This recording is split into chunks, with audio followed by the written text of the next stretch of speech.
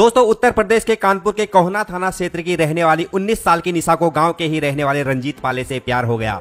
एक दिन रात के अंधेरे में रंजीत पाले निशा का गेम बजा रहा था। तभी निशा की माँ मधुली देवी ने इन दोनों को देख लिया। बेटी और उसके प्रेमी को आपत्तिजनक स्थिति में देखकर मधुली देवी ने उन दोनों को खूब खरी खोटी सुनाई और ये बात अपने पति को बताने की धमकी देने लगी। निशा और उसका प्रेमी रंजीत जानते थे कि निशा के बाप का पुराना क्रिमिनल रिकॉर्ड है। वो पिछवाड़े में पीतल भरने में देर नहीं लगाता है। इसीलिए ये दोनों बुरी तरह से डर गए। निशा और रंजीत मधुली देवी के पैर पकड़कर माफ़ी मांगने लगे। उन दोनों को अब अपनी मौत बेहद करीब नज़र आ रही थी। रंजीत मधुली देवी से बोला, आप जो कहोगे मैं वही करूँगा। आज के बाद आपकी बेटी से नहीं मिलूँगा। आप मुझे सिर्फ़ एक बार माफ़ कर दो। मधुरी देवी ने कहा, मैं तुझे माफ़ तो कर दूँगी, लेकिन तुझे अभी के अभी मेरा भी गेम बजाना होगा। दोस्तों, कहते हैं, मरता क्या नहीं करता। अपनी जान बचाने के लिए रंजीत पाले को ना चाहते हुए भी अपनी प्रेमिका के सामने उसकी माँ का गेम बजाना पड़ा। मधुली देवी का पति ज़्यादातर घर से बाहर ही रहता था। उसका भी इंजन सर्विस मांग रहा था। लिहाजा उसने रंजीत पाले को इतना ज़बरदस्त मज़ा दिया कि रंजीत प्रेमिका निशा से ज़्यादा उसकी माँ की तरफ़ आकर्षित हो गया, जिसके बाद ये सिलसिला लगातार चलता रहा। रंजीत बारी बारी से माँ और बेटी दोनों की हसरतों को पूरा करता था, लेकिन उसका झुकाव माँ की तरफ़ ज़्यादा था, क्योंकि अनुभव भी कोई चीज़ होती है। दोस्तों, लगातार कई महीनों से रंजीत पाले दो दो महिलाओं को डोज दे रहा था, जिस वजह से अब इसमें उसकी रुचि कम होने लगी।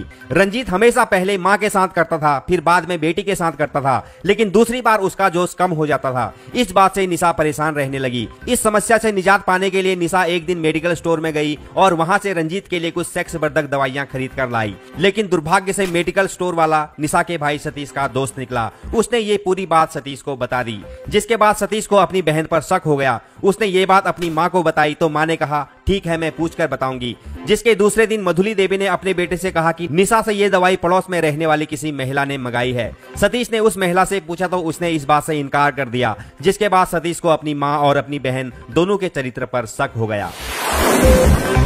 अपनी माँ और बहन की हकीकत को जानने के लिए सतीश ने अपनी जिगरी यार विनोद को उनके पीछे लगा दिया। अब विनोद इन दोनों की जासूसी करने लगा।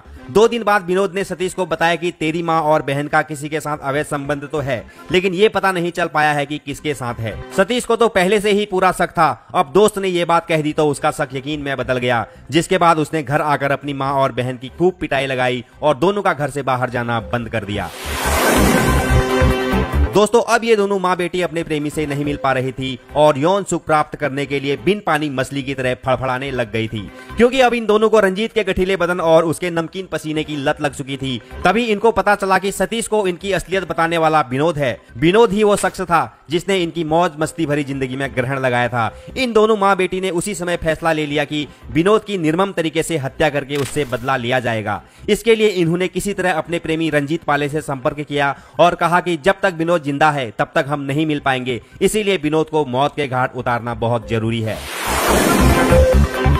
दोनों प्रेमिकाओं के कहने पर रंजीत पाले विनोद की हत्या करने के लिए राज़ी हो गया। रंजीत ने विनोद की तरफ़ दोस्ती का हाथ बढ़ाया। विनोद को मालूम नहीं था कि यही वो शख्स है जो उसके दोस्त की माँ और उसकी बहन का गेम बजाता है। किसी खतरे से अनजान विनोद ने रंजीत से दोस्ती कर ली। फिर रंजीत एक दिन विनोद को दारू पीने के बहाने एक सुनसान जगह पर ले गया और वहाँ तार से गला घोटकर उसकी हत्या कर दी। काफ़ी दिनों के मेहनत मशक्कत के बाद पुलिस ने आखिरकार विनोद के हत्यारे रंजीत पाले को गिरफ़्तार कर लिया। गिरफ्तारी के बाद रंजीत पाले ने इस हत्याकांड का पूरा खुलासा कर दिया, जिसके बाद पुलिस ने रंजीत की दोनों प्रेमिका, माँ बेटी को हत्या के लिए रंजीत को उकसाने के आरोप में गिरफ़्तार कर लिया और इन तीनों को जेल भेज दिया। दोस्तों, उम्मीद करता हूँ चढ़ती जवानी और हवस की ये कहानी आप पूरी तरह से समझ गए होंगे। इस हत्याकांड के विषय में आपकी क्या राय है? नीचे कमेंट करके मुझे ज़रूर बताएँ। धन्यवाद।